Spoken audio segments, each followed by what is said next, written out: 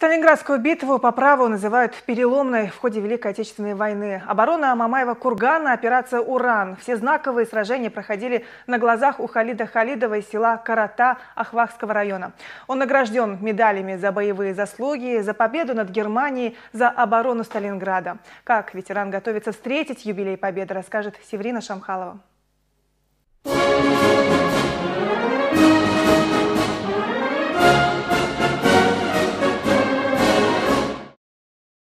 В праздничном кителе и с улыбкой на лице Халид Халидов встречает гостей на крыльце своего дома. О заслуженных орденах и медалях рассказывать неохотно, но только стоит разговорить, и эмоции переполняют ветерана.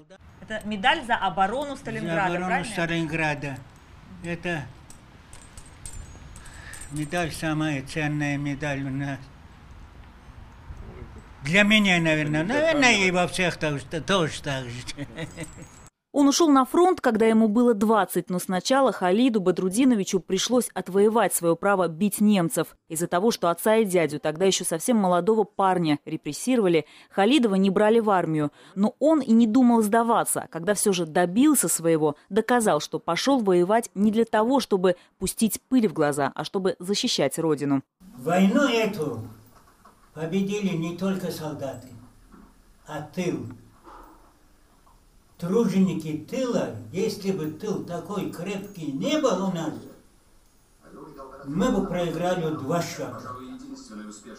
Весь резерв, вся система, все богатство было в одних руках. И он командовал, командующий Сталин, Битва за Сталинград как самое масштабное и страшное по своей жестокости сражение в истории всей войны. Его фронтовик не забудет никогда. Бои шли за каждый квартал, за каждый дом. В результате авианалетов город подвергся страшным разрушениям. Многие районы были фактически стерты с лица земли. Погибли почти 100 тысяч человек. Такой же ключевой в ходе войны стала и Курская битва. На Курской дуге мы проходили, были вторым эшелоном. Мы... Это было страшно тоже. Не хуже, чем в Сталинграде. Ну, там танковые бои были. Башни танков 15, 10, 15 метров после взрыва орудия и башня выброшенные, вы говорите, там.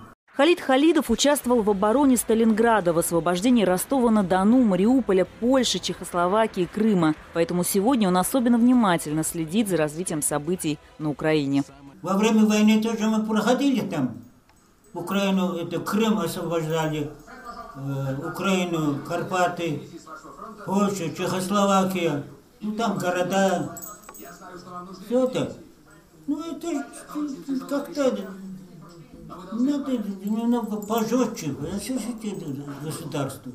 В свои 93 он помнит всех, с кем сражался. Вот они, герои войны. В этом альбоме бережно собраны снимки тех, с кем Халидов прошел этот тяжелый путь. Тех, кто не раз спасал от шальной пули. Я от него письма получал, и Каплан, он еврей, горский. Оттуда получал, из Венеции. Каплан фамилия. Вот. Этот Новобратов рядом стоит со мной. Ростовская область, там рыбацкий поселок, я не знаю, как, не, не, не помню. Мельников, Беларусь. Вернувшись с войны, фронтовик не сразу смог забыть то, что пережил, но начать новую жизнь помогла семья. У ветерана 7 детей, 6 внуков и 13 правнуков. И все они хорошо знают подвиги своего деда, но больше всего восхищает даже не это, а то, что после таких испытаний Халид Халидов смог остаться жизнерадостным человеком. позитивный человек. Ну, Я бы даже сказал, вот э, у многих может быть ассоциируется то, что после войны человек был бы более замкнутый, такой расстроенный, грустный, ну, много жестокости увидел. Но этого человека, я вам скажу, позитива хватает на всю семью. Он придет гости, вот как вот приезжает к нам, прям вот настроение у всех поднимается. Мы к нему придем, вот всего там что-то помочь, всё, и чтобы поддержать.